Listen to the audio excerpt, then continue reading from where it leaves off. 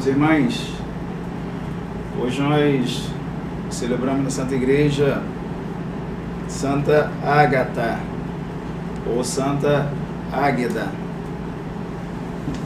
Marte. Ela é uma das é, mais é, consideradas santas da Igreja, é, considerada como heroína do, da nossa Igreja. E é tão importante que ela é citada é, no, no cânon todos os dias, né? Todo dia na missa a gente ouve é, é citado o nome Santa Ágata. E sendo também hoje o primeiro, primeiro sábado do mês, eu queria que vocês é, prestassem atenção, então, na relação entre é, Santa Ágata e a igreja. Ela como símbolo da igreja, Santa Ágata como símbolo da, símbolo da igreja, e Nossa Senhora também como tipo da igreja. Que hoje é o primeiro sábado do mês e a gente está aqui para reparar as ofensas do Imaculado Coração de Nossa Senhora. Primeira questão de, de, de Santa Ágata. Título poderia ser assim, Santa Ágata, é, a caminho da vitória.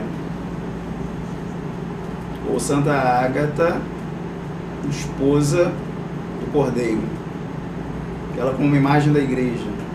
O que, o que acontece na vida de Santa Ágata é impressionante, como a gente pode fazer uma, um paralelo com a, a Santa Igreja, o corpo de Cristo com a esposa de Cristo, que é a nossa mãe Santa Igreja. É, começar, ela, ela é da Sicília, da região da Sicília, de uma família nobre. É, e ela é bela, é famosa por sua beleza. Estou falando de Santa Ágata, você vai lembrando da igreja. Como a igreja é bela, né? como a igreja é nobre. Depois, ela desde nova ela consagra a sua castidade, sua virgindade, a sua pureza ao nosso Senhor. Como é a Santa Igreja. E ela começa a incomodar é, os, os, donos, desse, entre aspas, os donos desse mundo, os, o príncipe deste, deste mundo como é com a igreja, como acontece com a igreja. Ele sabendo de sua beleza, sabendo da sua fama, ele é, sabendo que ela serve a Jesus Cristo, ele manda prendê-la. Como acontece com a igreja, de alguma forma. E uma vez que Agatha é, sabe disso, ela recorre ao Senhor em oração, como acontece com a igreja, e, e ela se dirige ao Senhor dizendo, lembrando ao Senhor é, que o Senhor conhece o seu coração e conhece o seu desejo, conhece a sua intenção. E aí ela pede ao Senhor que dê, dê a ela a vitória contra o demônio. Como faz a igreja. oração de Santa Ágata, Ágata é a oração da igreja. E ela é levada diante do, do, do príncipe desse mundo, é levada diante do, do poderoso desse mundo. E ele tenta convencê-la, é assim, é de praxe, como acontece com as outras mártires, né? Eles tentam convencer é, essas nossas irmãs, né, esses exemplos de, de meninas praticamente. Né? São meninas, nossas irmãs, exemplares para nós. Tenta convencê-las a atrair o Senhor. E aqui no caso ele tenta atingir a pureza. Esse quintiano, né, que era governador na época, tenta atingir a pureza de, de Santa Ágata. E ela diz, antes de morrer do que trair é, o meu nome de cristã. ele faz propostas indecorosas, né? propostas indecentes é, para Santa Ágata, devido à sua beleza, ao seu brilho, à sua nobreza. E ela, então, ela, ela você veja que ela, nesse momento ela puxa para si a, a, a, atenção e a ofensa. É, antes de morrer, do que manchar o meu nome é, de cristã. Digo isso porque ele não se ofendeu tanto, né? Mas ele vai se ofender mais, esse, esse tirano.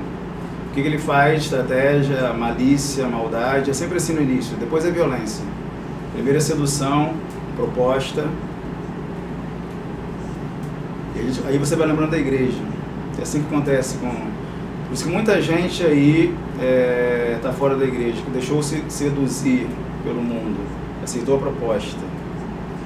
E aí o que, que faz esse quintiano? Ele tem uma ideia maliciosa, sempre maligna, de deixar Santa Ágata com uma mulher é, que tem fama de ser mulher da vida, né?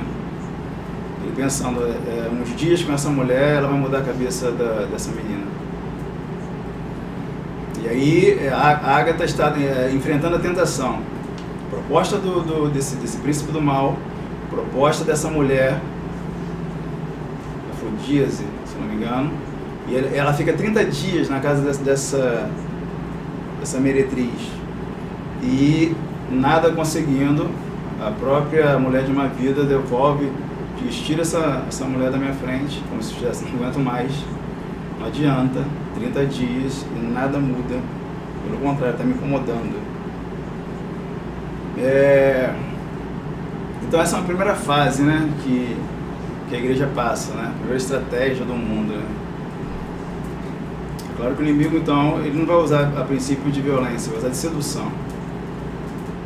É aquilo que ensina o Senhor, né? É entrar pela porta estreita, o caminho que leva à perdição é largo espaçoso. E muitos, muitos, muitos caem, vão por esse caminho.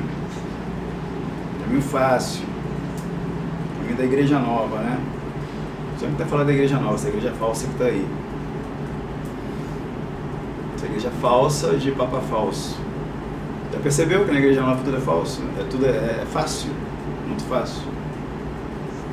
Salvação é fácil e para o céu é fácil tudo muito fácil. Mas aqui Santa, nossa santa, como símbolo da igreja, ela mostra que a igreja não cai nessa tentação. Não cai nessa tentação da facilidade. De jeito nenhum. Passando essa fase da tentação, é, o tirano começa a usar agora da, do martírio, né, da violência. Ele então faz uma, uma, uma outra proposta, né, uma, uma provocação dizendo é, tu, tu, não te importa sendo de família nobre e, e se sujeitando né, a ser uma cristã, se baixar o nível, né? Sendo de família nobre para o mundo, se sujeitando a isso tudo aí. E as frases de, de Santa Ágada é, são as frases da igreja, né? E aqui começa a ficar mais difícil para ela. Porque ela, ela tinha antes dito que é, só passando por cima meu cadáver, só me matando. E, e, e, eu não vou sujar o nome de cristã em mim. Agora ela está dizendo, agora ela fala de Cristo, do reinado de Cristo. Ela fala é, servir a Cristo é, é a suma liberdade, né? E, e estar com Cristo é, é, é, está acima de todas as, as, as riquezas. Como se fosse assim, servir a Cristo a reinar sirva a Cristo por seu reino. Então, quando fala do reino de Cristo, aí vem a fúria né, desse homem aqui. Aí começa a vir a violência mesmo contra a, a nossa santa. É o que acontece com a igreja.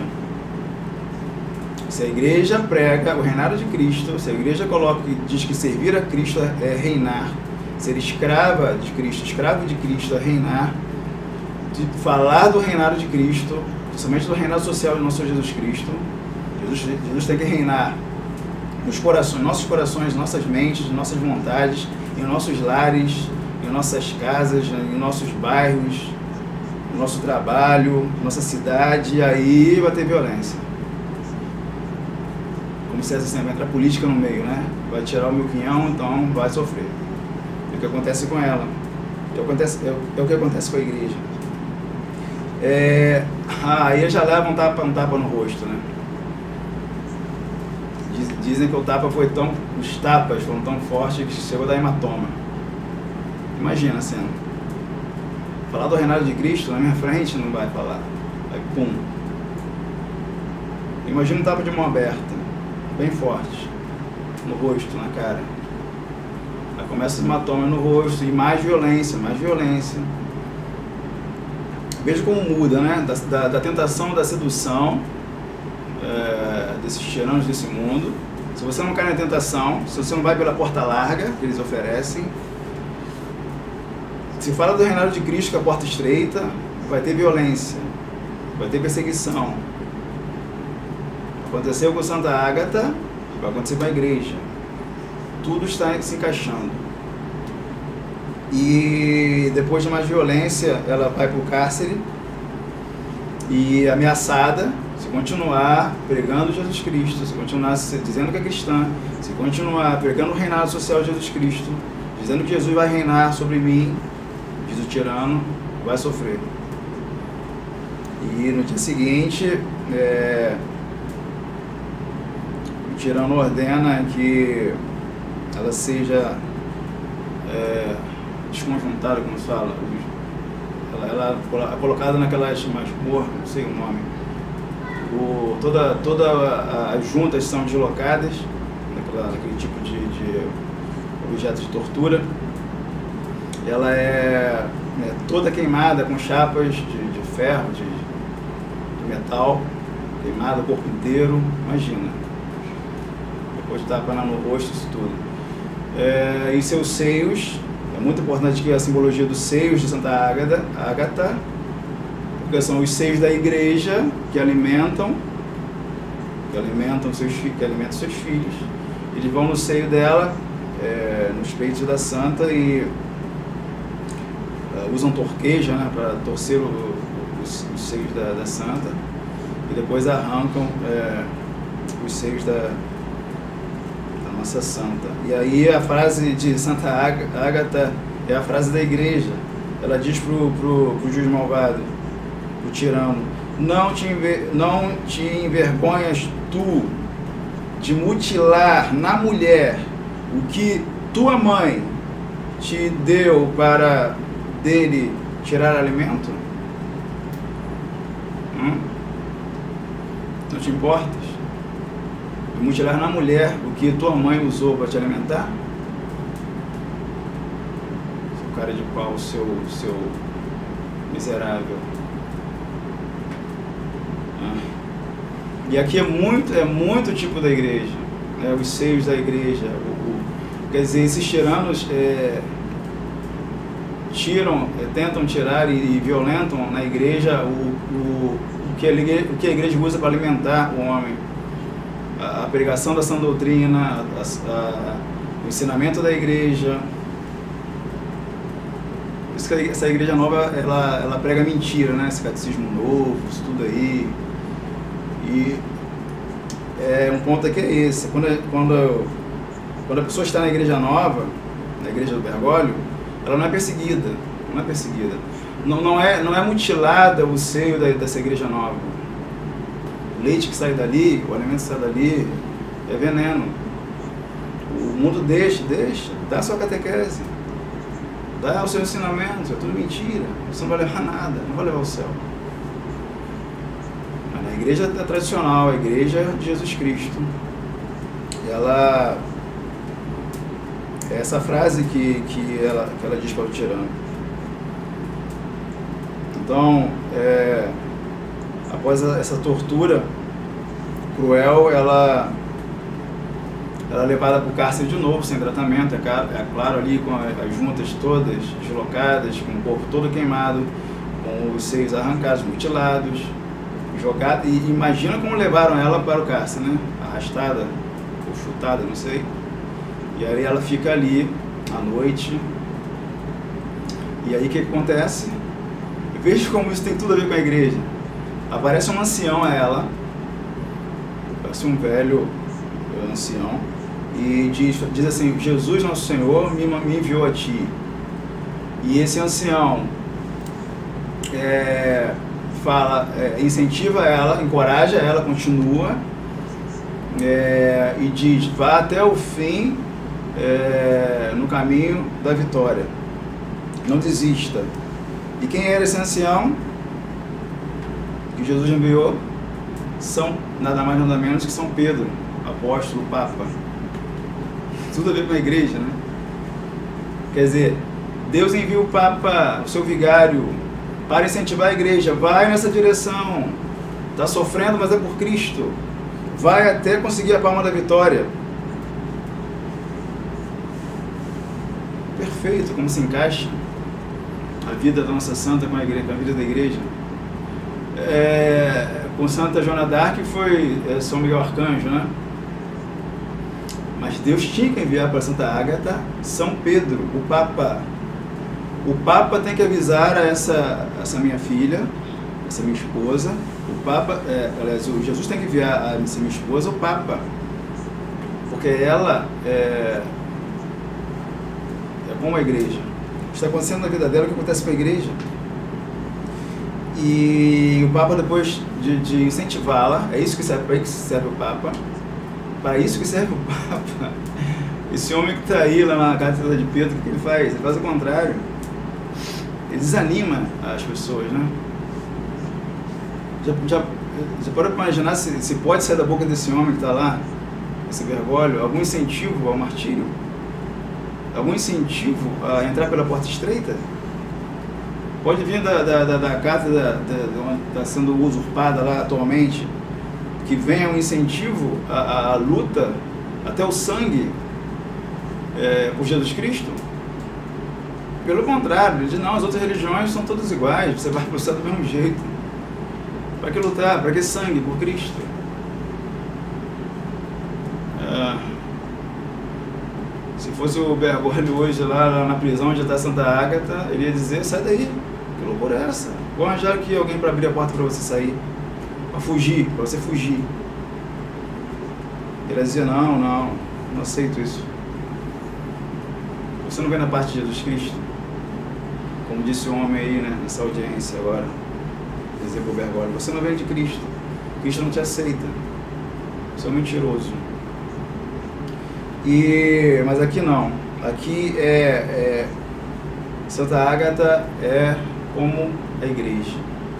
E ela fica maravilhada, o, é, o Papa some, São Pedro incentiva, some, e some, no mesmo, no mesmo momento some as feridas, some as feridas, ela fica restaurada, totalmente restaurada, ela fica admirada com a ajuda do céu, com a ajuda do Papa, repito, com a ajuda do Papa, tem que repetir mil vezes aqui, hoje em dia tem que repetir coisas mil vezes né, para esse, esse mundo. Com a ajuda do Papa, ela fica admirada, extasiada, animada, o Papa tem que para nos animar, o Papa é de verdade, não esse falso, um está desanimado por causa desse, desse falso aí, dos outros falsos, e ela some todas as feridas, some todas as chagas. Aí, olha só que coisa. Como a igreja, ela começa a louvar, ou seja, entra na liturgia da igreja. Ela começa a louvar, começa a cantar é, na prisão, pelas maravilhas do Senhor. Isso é a igreja em sua liturgia. E aí os guardas ouvem esse canto, ouvem a liturgia da igreja, ouvem a liturgia de Santa Ágata. E vem é, ver o que está acontecendo. Quando abrem a prisão, olham Santa Ágata restaurada, animada, brilhante, soberana, restaurada. E eles ficam com medo. Não tem medo da liturgia. A beleza da liturgia, a maravilha da liturgia, a estética plena, é, a beleza de Cristo que brilha na liturgia da igreja. O mundo não tem como argumentar. É como se assim, contra fatos no argumento. Está tentando argumentar contra a igreja, contra a verdade? Contra fatos no argumento. Olha a liturgia da igreja. Não tem argumento contra a liturgia da igreja. Não tem argumento. Você fica extasiado com o incenso, com o canto gregoriano, com o paramento dos sacerdotes, com o bispo em sua cátedra, com é, todos os movimentos da cerimônia, com a, a, o ensinamento da doutrina, com, com, com o altar é, maravilhoso, com, com a relíquia no altar, é, com os castiçais de ouro, com o cálice de ouro, com a patena de ouro. É uma coisa maravilhosa. Então o mundo não tem o que dizer. Ele foge. Foge. Por isso que a Igreja Nova destruiu a liturgia. Destruiu a liturgia essa Igreja do Vaticano II. De 62 para cá, desse Concílio Vaticano II, acabou a liturgia. O que vocês veem na paróquia aí é isso aí, ó. Que não assusta, ninguém, não assusta nenhum inimigo, como assustou aqui os guardas. Os guardas riem da liturgia da, da Igreja Nova. Os guardas riem da liturgia desse Bergoglio, desse Francisco, falso Papa. Os guardas riem dessa liturgia feia, desses paramentos feios, dessas músicas feias, desse altar, que nem altar é uma mesa feia, de tudo feio, tudo feio, eles riem. Aí vai todo mundo pro show de rock. A juventude não vai para liturgia. Não tem brilho, não tem beleza. Caramba, os guardas fugiram por causa da liturgia de Santa Ágata, por causa da liturgia da igreja. Eles fugiram porque não dá para argumentar com isso. Contra, contra fatos não há argumento. Não dá para não dizer que isso é uma beleza. Não dá para dizer que esse canto me, me eleva, esse canto gregoriano. Eu fico, minha alma fica elevada. Os guardas, vamos fugir daqui, vamos fugir, senão a gente vai se converter. Foge da liturgia da igreja, liturgia tridentina, de verdade. Foge do canto gregoriano. Foge, guarda, foge, senão você se converte. E ela só estava agradecendo ao Senhor porque o Senhor enviou o Papa para ela e o Papa incentivou, incentivou-a. Como tem a ver a vida de Santa Ágata com a igreja? Que paralelo é esse? Como se encaixa? Como luva, luva de ouro. E aí, e aí é, as outras presas estavam com Santa Ágata, as presas estavam no, no, nas cadeias ao lado, é, falam com ela, aproveita, Aproveita e foge. Olha, Agatha, a porta está aberta. Os guarda, a porta está aberta. Os guardas deixaram a porta aberta e fugiram. Aproveita e foge. Aí a tentação, de novo, contra a igreja. Santa Ágata, de repente, veio contra ela outra tentação, de fugir. É, e ela, como tipo da igreja, ela fala, não, claro que não já estava convicta e o Papa me animou. Papa, Jesus mandou o Papa me animar para que eu vá até o fim, até receber a palma da vitória. Eu vou até o fim. Não vou escutar vocês. Não vou cair nessa tentação. A porta larga está aberta. Vai, foge. Foge, Agatha. Não. Inclusive, a Agatha quer dizer bom, né? Boa, né? Ou seja, ela é uma, ela é uma boa filha. Ela é, uma, ela, ela é um bom exemplo. A Agatha é tudo de bom. Então ela falou, não, não vou para o mal. Vou continuar na bondade, vou continuar no caminho reto, não vou fugir. Não vou desistir enquanto não tiver em minhas mãos, ela fala, a palma da vitória. Como nós estamos em crise, eu repito, que o Papa me incentivou a tomar em minhas mãos o martírio. Que todo Papa de verdade faz isso. Incentiva, anima, se alegra como um pai que viu a, a filha indo para receber o troféu. Vai, filha, vai até o fim. E o caminho é esse. E o Senhor me enviou. E aí ela não cai nessa tentação. Ela falou, não. Mas deve ter fechado a porta, né? Não, vou fechar a porta aqui porque eu vou esperar a palma da vitória. É interessante que são as outras, as outras pessoas que estavam presas junto com Ágata. Ou seja, quando a igreja é presa, é, outras Outros vem, outras coisas são presas também, outras realidades ficam presas.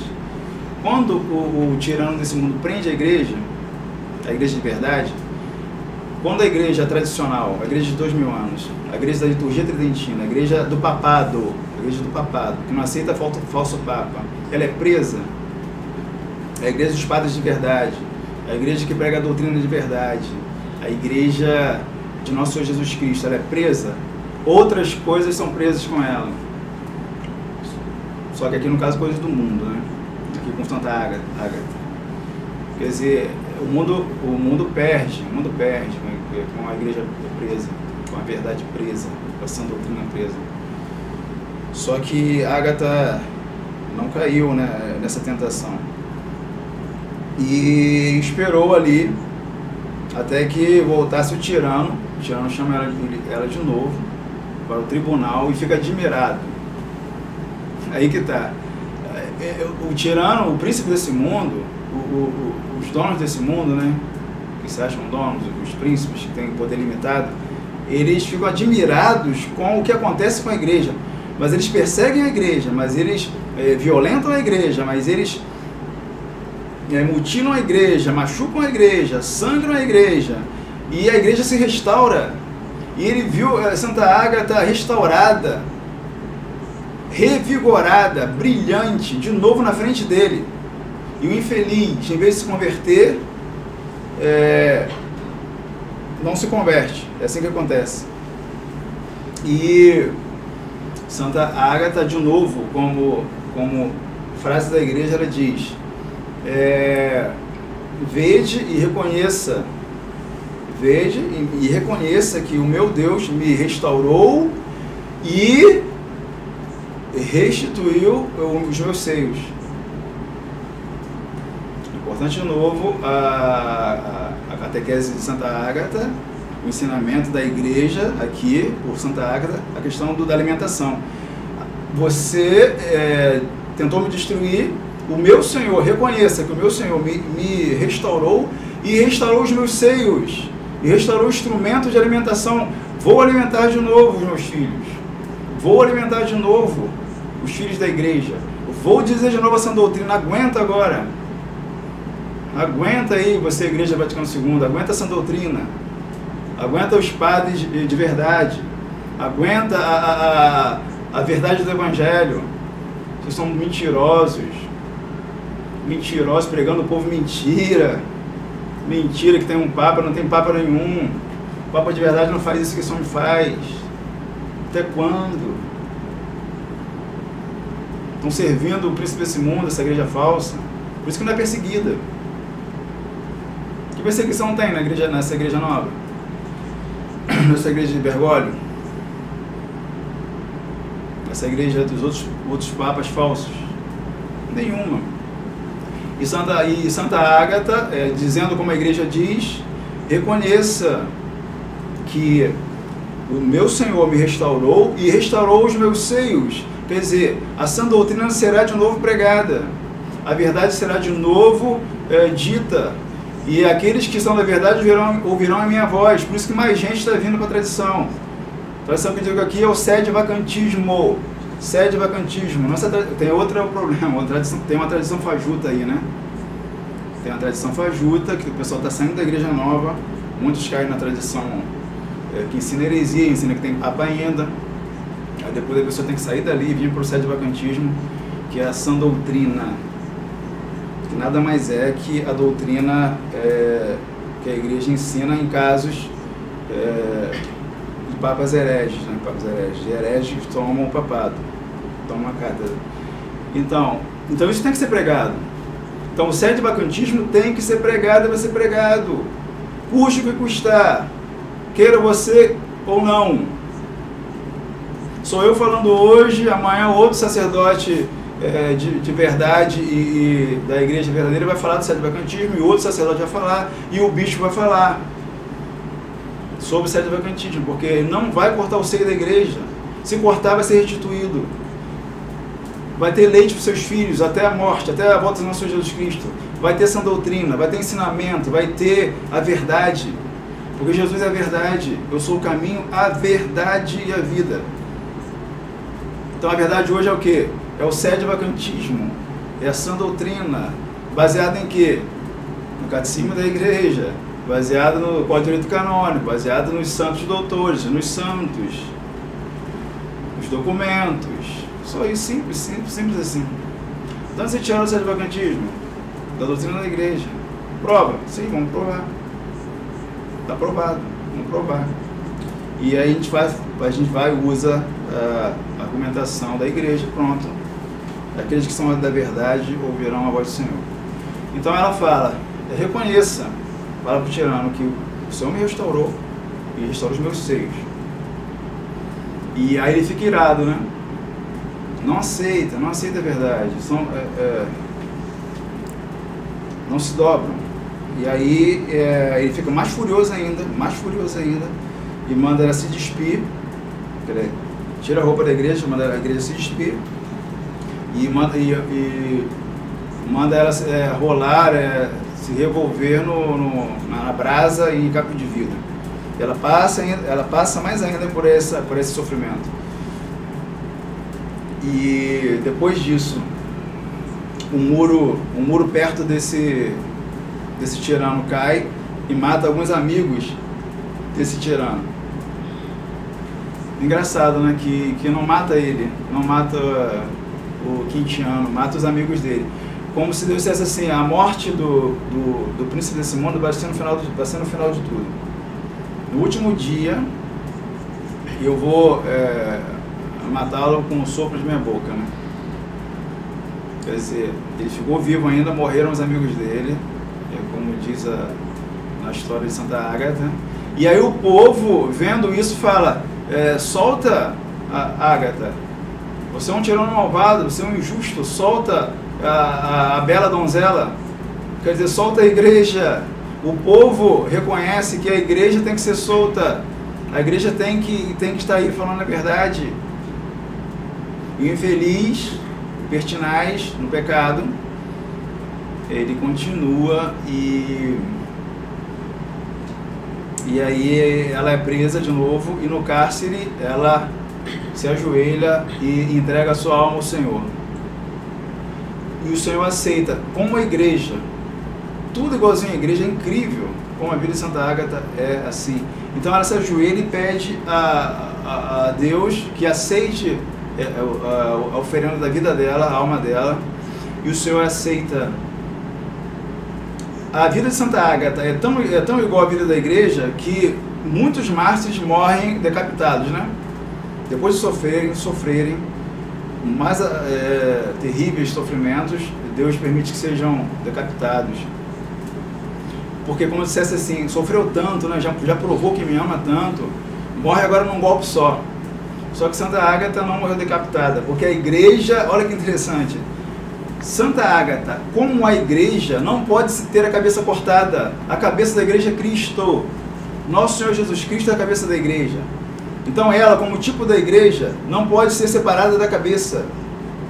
Santa Ágata não foi, não foi decapitada, não tinha sentido.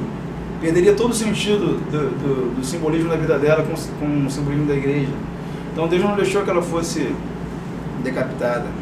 Aceitou a alma dela como aceita a oferenda da igreja. A igreja nunca será decapitada, nunca não podem separar a cabeça do corpo da igreja, como essa igreja nova faz. E assim é uma maravilha a festa de hoje, né? Santa Ágata, Virgem e Marte, esposa é, do Cordeiro, esposa do Cordeiro, a caminho da palma da vitória. Seria um belo título, né? Para esse sermão. E como hoje também é o primeiro sábado do mês, nossa devoção ao Imaculado Coração de Nossa Senhora, que também é tipo da igreja, símbolo da igreja. Nossa Senhora sofre porque não tem mais pessoas como Santa Ágata. Ela mostra a Lúcia de Fátima, o coração ferido, cheio de espinhos, mostra como mãe sentida, mãe das dores, mãe das lágrimas, dizendo: Olha que os ingratos fazem com o meu coração, gratidão. E ela pede é, a, a, irmã Lúcia que ela, ela diz que vai aceitar a reparação que a irmã Lúcia vai fazer, se a irmã Lúcia quiser. Então ela está pedindo a cada um de nós, faça reparação pelas ofensas do Imaculado, meu Imaculado Coração, é, que eu vou aceitar. E ela, como mãe amável, ela fala, cinco sábados, vocês, eu vou aceitar de vocês cinco sábados, cinco primeiros sábados seguidos de cada mês, para que vocês façam é, reparação às ofensas do Imaculado Coração. E, e Jesus quer é, que tenha é, quer que essa devoção se espalhe pelo mundo. E aquele que aceitar essa devoção, é, diz a, a, a, mensagem que será, a senhora fala, será como flor que eu colocarei no altar do meu Senhor, uma aquelas flores ali. Ou seja, será um lugar será eu é, intercederei por vossa salvação, para a salvação daqueles que fizerem a devoção, e eu vou tomar essas pessoas como flores e colocarei no altar do meu Deus. E Deus quer, é a vontade de Deus, que essa devoção é, se espalhe. Então que agora a gente comungue com essa intenção, a gente já se confessou, vai se confessar com essa intenção, rezamos o texto no início da missa com essa intenção, e depois é, você faça uma meditação em 15, 15 minutos, meditando os mistérios do Santíssimo Rosário, nessa intenção também. E assim a gente vai fazer é, esses cinco meses, né? E para que a gente seja um pouquinho igual a Santa Ágata, né? Faça coisas boas na nossa vida, né? Ágata, né? Boa, bom, um bom exemplo para nós. Que interceda por nós. Também vamos é, ter a primeira comunhão, né? Do Henrique. Que Henrique também ofereça, né? Reparação das ofensas do Imaculado Coração, essa primeira comunhão. E vamos continuar nossa missão aqui, é, aqui no sul do país, né? Louvado seja o nosso Senhor Jesus Cristo. Seja louvado.